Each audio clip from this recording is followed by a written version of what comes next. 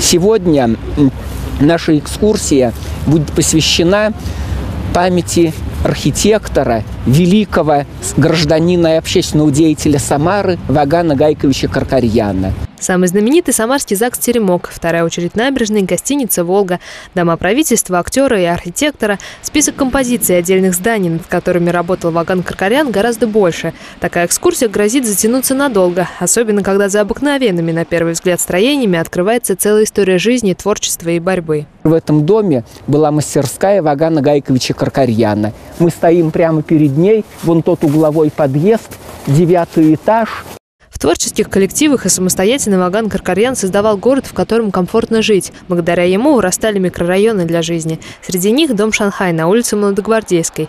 После себя Ваган Каркарьян оставил не только архитектурное наследие, но и благодарность и память горожан. Это культовый человек, я слышал о нем э, много, но отрывочно. То есть я хотел как-то совместить, причем э, в пешеходном варианте это очень интересная версия. Э, и плюс достаточно плохо знаю архитектуру и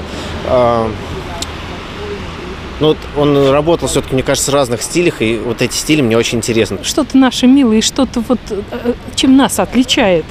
Надо это сохранять.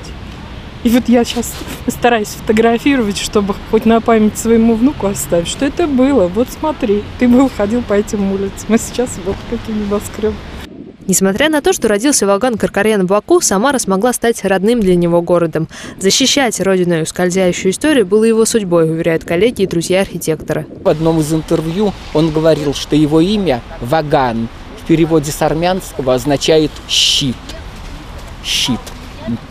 Вот. Ну и в какой-то мере, вот в переносном смысле уже можно сейчас сказать, что он в какой-то степени был щитом пытался спасти старую Самару от сноса, от разрушения.